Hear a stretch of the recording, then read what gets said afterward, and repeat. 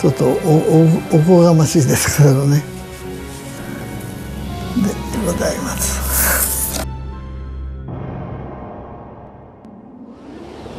By the 1980s, Hollywood was achieving new levels of realism in special effects. 小学校のですね5年6年の時にあのまず密度の遭遇スピルバーグの密度の遭遇が来てでその後あの2001年宇宙の旅が来てでそれから「スター・ウォーズ」が来たっていうこう2年間の後にこうすごい映画3本も来たことがあったんですけどでそこで僕が今まで見ていたミニチュア特撮とは全然こう別種のものを感じてね。It was just the beginning. Soon the advance of computer generated imaging, or CGI, started the revolution.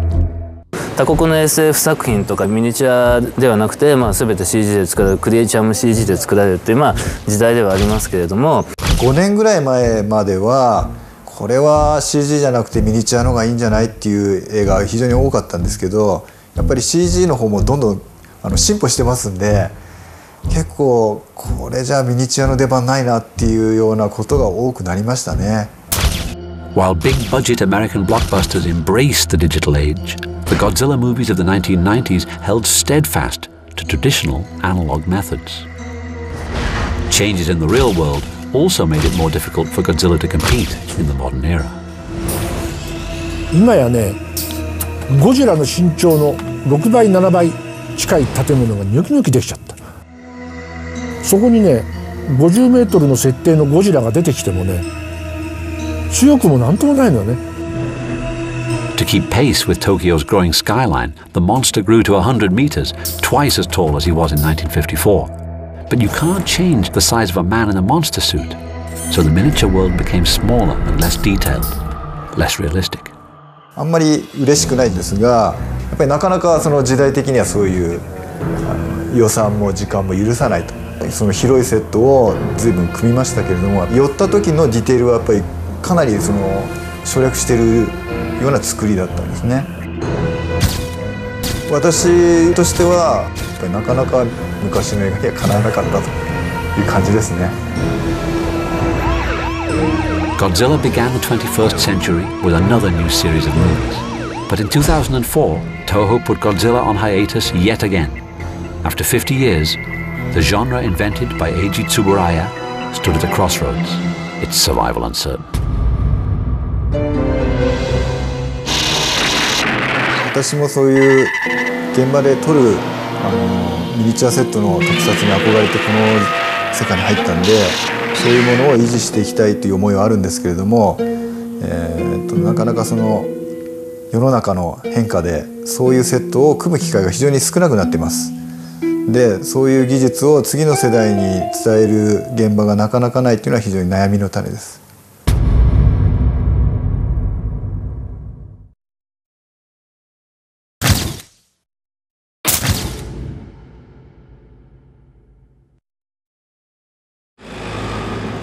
Today, the golden years of Toho's special effects films are only a memory. But even as technology leaps forward, there are people who are still passionate about doing things the old way, by hand. Ebina City, on the outskirts of Tokyo. It looks like an ordinary house on an ordinary street, but this is the home and workshop of art director Yasuyuki Inoue. Inside these walls, the history of Japanese special effects comes alive. From the drafting room, full of artifacts from Inoue's long career as a production designer, to the workshop where the tools of the trade are stored, and where Inoue continued to create miniatures, monster suits, and other special effects for films and TV shows until he retired in 2003.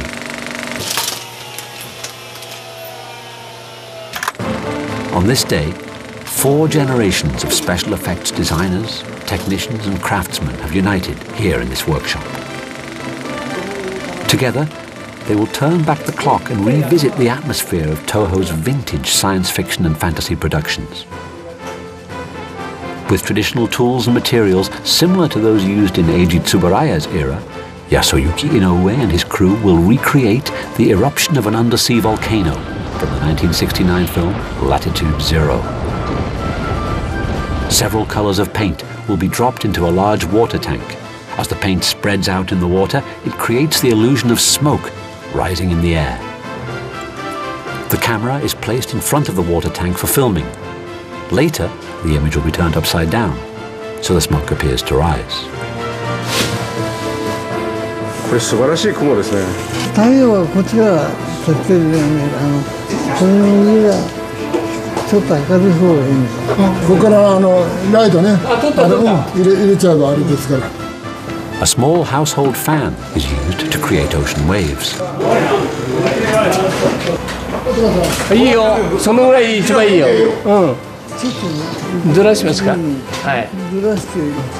波っていうのは一方からしか吹かない海がだから両方からこう波紋が入るっていうの今ねああの波の一番当たってる感じが出てんのここから出てんの。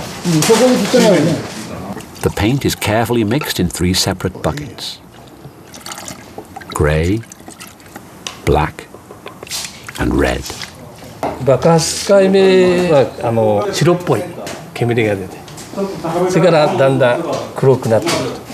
とで最後にちょっと赤みが入って濃さとか勘なんですかいやあのね濃度によって変わりますけれども一応ある程度は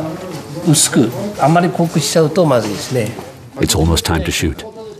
But first, the crew makes a test run in a small water tank. じゃあね一番先それからグレーを入れて暗めのやつから追っかけるっていう感じですか？で周りにこれをあそれもそれもじゃあ3人ともやるんですね。よーいスタート。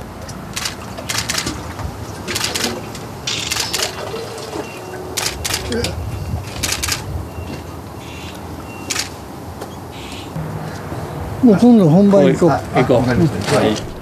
最近結構やってて毎年1作品か2作品ぐらいはやってるんですね。で去年の「日本沈没」とか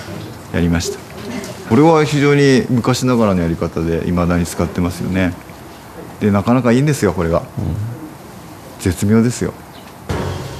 It's been years since many of them have retired. But these special effects artists still have a strong creative spirit.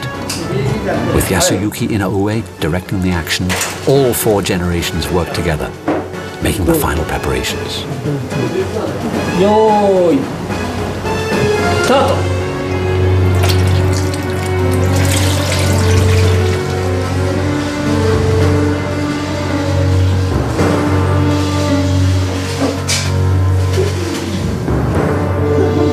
The director carefully reviews his work on the video monitor.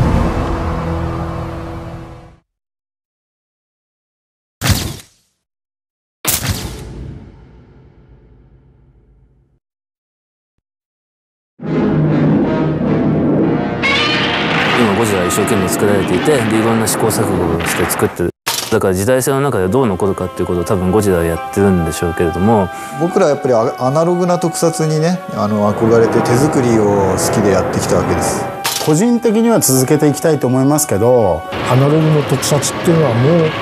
うやれないのか。なできないのかなっていう寂しさがありますね。確かに今あのもう CG の世界で作ろうと思ったらお金をかお金と時間をかければ何でもできるという時代になりましたよね。ただ出来上がった映画を見るとねやっぱり何か作り物っていう感じが非常に強くて。も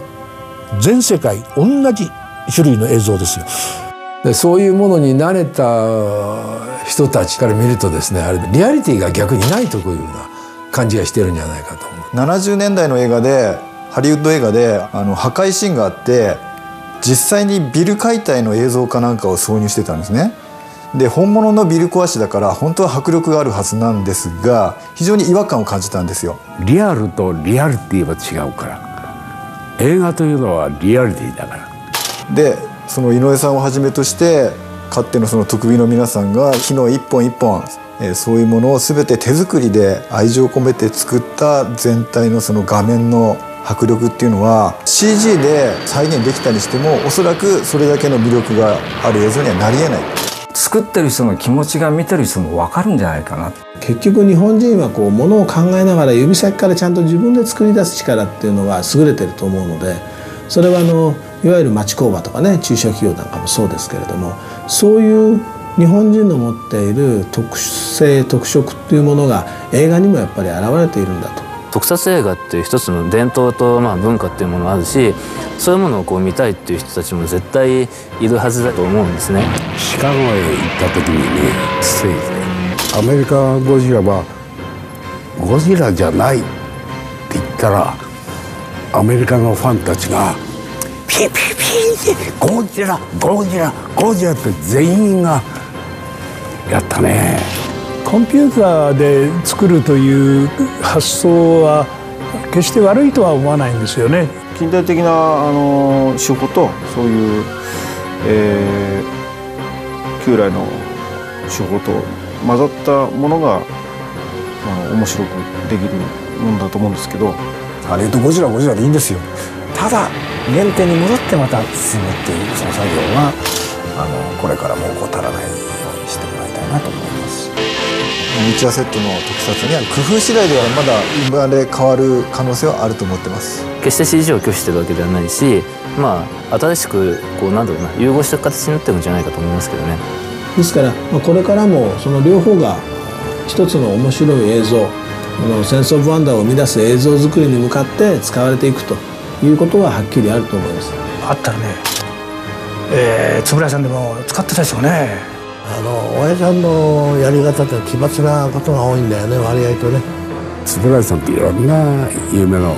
こういうことやりたいああいうことやりたい言ってくれた。それとね文化系理科系の両方の才能を持った人が僕は円谷さんじゃなかったか言ってみれば一人で映画全部撮れる人なんですよ。技術の世界にとってもやっぱりあの全ての部分で残ってますね。スタッフがやっぱりそれを継いでる数多くのスタッフが輩出されてますしね。でそれがやっぱり一つの時代を築いてるってことも事実だと思うし。だから遺産っていうのはそれはすごいですね。